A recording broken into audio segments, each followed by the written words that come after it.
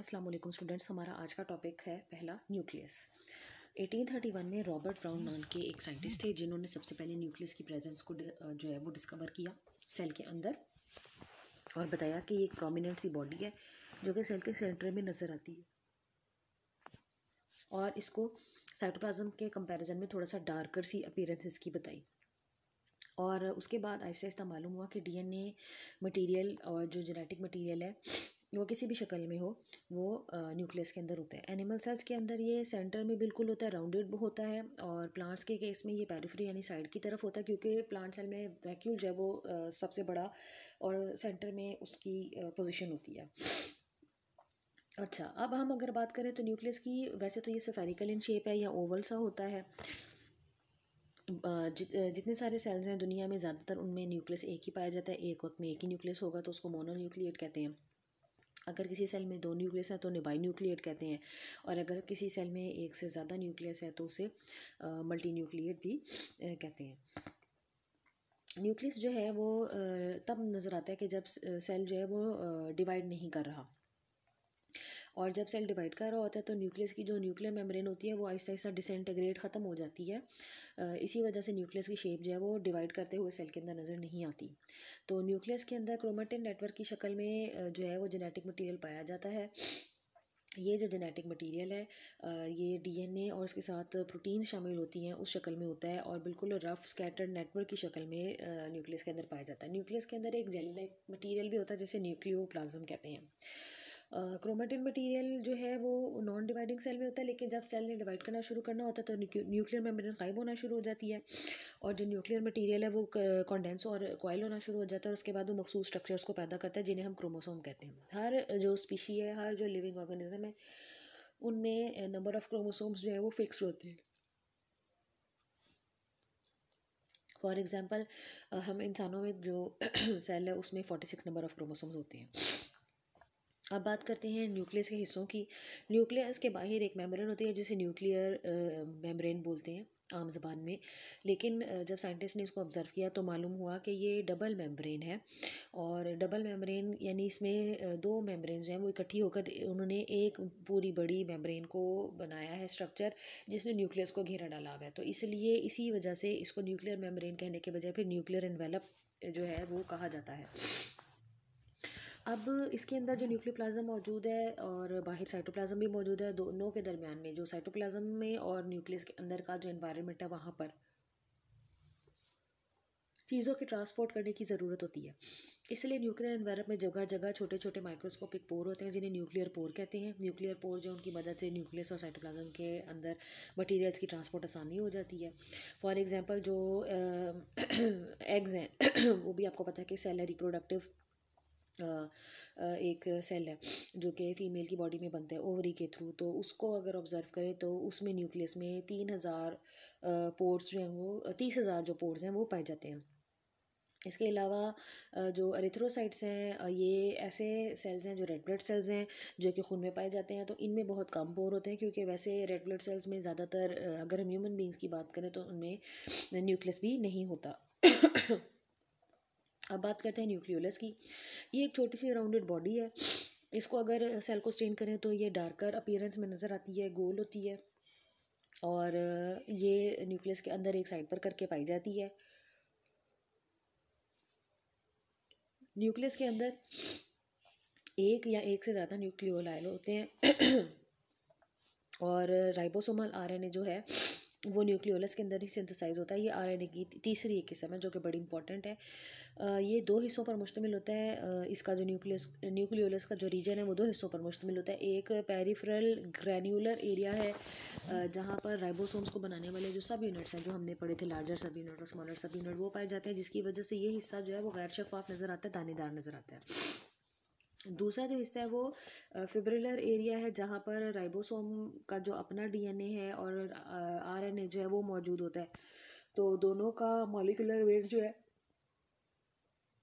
वो खासा ज़्यादा है, इसलिए उस एरिया को फिब्रिलर एरिया कहते हैं। उसके बाद हम बात करते हैं क्रोमोसोम्स की। क्रोमोसोम्स वो स्ट्रक्चर हैं जो कि न्यूक्लियस के अंदर जो है क्रोमेटिन मटेरियल उनकी कॉन्डेंसिंग और कॉइलिंग से बनता है, ये तब होता है जब सेल डिवाइड करता है, ताकि क्रोमेटिन मटेरियल को इक्वल तादाद में इक्वल करके तो दो हिस्सों में डिवाइड कर दिया जाए, क्योंकि जब सेल डिवाइड करता है तो क्रोमोसोम्स जो है उनका नंबर हाफ़ हो जाता है। माइटोसिस में जो है वो क्रोमोसोम का नंबर डिप्लॉयड ही रहता है, लेकिन उससे पहले डीएनए जो है वो रेप्लीकेट करता है, यानी कि अपनी कॉपी पहले तैयार कर लेता है। तो अगर माइक्रोस्कोप के नीचे आप क्रोमोसोम को रखकर देखें तो उसमें आपको बाजू बने हुए नज़र आएँगे, जिन्हें क्रोमोटेट्स कहते हैं, और वो दरमियान में एक गोल राउंड बॉडी के साथ जुड़े होते हैं, जिन्हें सेंट्रोमियर कहते हैं। क्रोमोसोम सेल की डिवीज़न के वक्त जो है वो बनते हैं उसके बाद वो उसी तरह डिसइंटीग्रेट हो जाते हैं और क्रोमेटिन मटेरियल की शक्ल में नज़र आते हैं। सो so, एक क्रोमोसोम जो है वो डीएनए और प्रोटीन से मिलकर बना है हिस्टोन प्रोटीन्स वो प्रोटीन्स हैं जो कि डीएनए के साथ क्रोमेटिन मटीरियल को बनाती हैं। हर जो स्पीशी है उसमें क्रोमोसोम्स की एक मखसूस तादाद बनती है। और वो नंबर जो है वो फिक्स रहता है। मिसाल के तौर पर इंसानों में फोर्टी सिक्स क्रोमोसोम है फ्रॉग्स में ट्वेंटी सिक्स चिंपैंजी में forty eight fruit fly drosophila melanogaster में फॉर एग्जांपल आठ क्रोमोसोम है।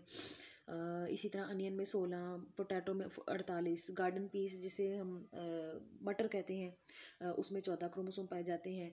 तो नंबर ऑफ़ क्रोमोसोम एक नॉर्मल बॉडी सेल के अंदर जो है वो डिप्लाइड शक्ल में होते हैं और जो गैमेट्स बनते हैं वो मियोसिस से क्योंकि बनते हैं तो उनमें क्रोमोसोम नंबर हाफ़ हो जाता है, डिप्लॉयड का आधा रह जाता है, इसलिए हम वहाँ हेप्लॉयड का वर्ड यूज़ करते हैं। यहाँ पर आप देख सकते हैं कि जो बॉडी है, सेंट्रोमियर सेंटर में वो काइनाटोकोर से मिलकर बनी है। और इसमें क्रोमेटिन मटेरियल जो है वो फोल्ड और कॉयल हुआ है और इन, इनको, इसके जो दो बाजू बने हैं, उनको सिस्टर क्रोमेटिड्स कहते हैं। यहाँ पर आपको न्यूक्लियस की शक्ल दिखाई गई है। आप देख सकते हैं न्यूक्लियर का जो न्यूक्लियर एनवेलप है, वो ग्रीन कलर का दिखाया गया है। डबल मेम्ब्रेन बाउंडेड है। इसमें न्यूक्लियर पोर भी नज़र आ रहे हैं आपको। न्यूक्लियोलस भी सेंटर में नज़र आ रहा है। क्रोमेटिन मटीरियल जो है, वो भी आपको नज़र आ रहा है। उसे क्रोमेटिन नेटवर्क भी बोलते हैं, जो कि डीएनए और प्रोटीन्स के मिलने से बनता है और अभी उसने क्रोमोसोम्स की शक्ल इख्तियार नहीं की है। उसके बाद हमारा जो आज का टॉपिक है वो है प्रोकैरियोटिक और यूकैरियोटिक सेल प्रोकैरियोट्स वो ऑर्गेनिजम्स हैं जिनमें जो सेल है, उसके न्यूक्लियस के बाहर मेम्ब्रेन नहीं होती, इसलिए उनका न्यूक्लियस नज़र नहीं आता. और यूकैरियोट्स वो ऑर्गेनिजम्स हैं जिनका जो सेल है, उनमें न्यूक्लियस के बाहर मेम्ब्रेन है. जिनके न्यूक्लियस के बाहर मेम्ब्रेन है और उनका प्रॉपर प्रोमिनेंट जो है वो मेम्ब्रेन बाउंडेड न्यूक्लियस है, वो नज़र आता है। तो प्रोकैरियोटिक ऑर्गेनिज्म जो है वो बैक्टीरिया और यूकैरियोटिक ऑर्गेनिज्म बाकी के सारे ऑर्गेनिज्म है, जैसे फंजाई अलजी प्लांट्स और एनिमल्स वैसे तो प्रोकैरियोटिक और यूकैरियोटिक सेल में बहुत सारे डिफरेंसेस हैं, लेकिन यहाँ पर हम मेन मेन डिफरेंसेस के बारे में बात करेंगे।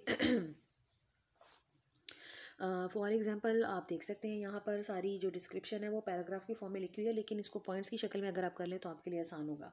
प्रोकैरियोटिक सेल में सबसे बाहर सेल वॉल होती है, जबकि यूकैरियोटिक सेल में सेल वॉल भी हो सकती है सेल मेम्ब्रेन भी हो सकती है। प्रोकैरियोट्स में जो सेल वॉल है, वो पेप्टीडोग्लाइकन और म्यूरिन की बनी होती है। जबकि जो यू कैरियोट्स हैं। उनमें प्लांट्स में और फंजाई में और अलजी में जो है वो सेलोवॉल पाई जाती है। प्लांट्स में और अलजी में it is made up of cellulose fungi में it is made up of chitin तो यहाँ पर कंपाउंड जो है वो फ़र्क है। उसके बाद है कि जो प्रो कैरियोट्स हैं ये बाइनरी फिशन के ज़रिए जो है वो उसमें पेरेंट सेल अपने आप को दो हिस्सों में डिवाइड करता है और इसमें माइटोटिक अपरेटस नहीं बनता क्योंकि इसमें सेंट्रियल नहीं होता जबकि एनिमल प्लांट सेल वगैरह में अगर हम देखें तो माइटोटिक अपरेटस बनता है। प्लांट सेल में सेंट्रियोल नहीं होता एनिमल सेल में सेंट्रियोल भी होता है।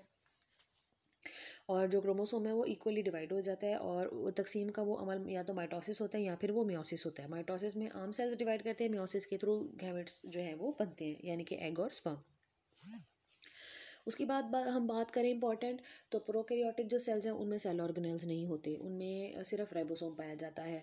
जबकि यूकैरियोटिक सेल में बहुत सारे सेल ऑर्गेनल्स हैं endoplasmic reticulum Golgi body centriole lysosome peroxisome glyoxysome ये सारे हमने पढ़े थे। और एक और इंपॉर्टेंट बात बता दूँ कि जो प्रोकैरियोटिक सेल है, उसमें तमाम सेल ऑर्गेनल्स के साथ साथ सेंट्रियल भी नहीं है। और यहाँ पर एक और अहम बात बता दूँ कि सिर्फ़ राइबोसोम है जो कि दोनों में पाया जाता है। लेकिन जो राइबोसोम पाया जाता है प्रोकैरियोटिक सेल में वो छोटे साइज़ का होता है। और जो यूकैरियोटिक सेल हैं, उनमें जो राइबोसोम होता है वो बड़े साइज़ का होता है। प्रोकैरियोट्स का जो राइबोसोम है, उसका साइज़ सेवेंटी एस यानी स्वेडबर्ग है। एस से मतलब है यहाँ पर स्वेडबर्ग जबकि एटी एस जो है उसमें जो साइज़ है यूकैरियोटिक सेल में राइबोसोम का, वो एटी एस है। तो दोनों के साइज़ में वाजिया फ़र्क है। स्वेटबर्ग यहाँ एस को जो है वो स्वेटबर्ग शो करता है। स्वेटबर्ग एक यूनिट का नाम है जो कि राइबोसोम के जब अल्ट्रासेंट्रिफिकेशन करते हैं और इसका साइज़ मैयर करते हैं तो उसको मैयर करने के लिए हमारे पास एक यूनिट है। अच्छा जी, इसी तरह और छोटी छोटी बड़ी सारी जो है वो डिफरेंसेस हैं, लेकिन मेन जो डिफरेंसेस है वो आपको इस तरह से यहाँ पर लिखी हुई हैं और ये आपने इस तरह से एक्सप्लेन करनी है।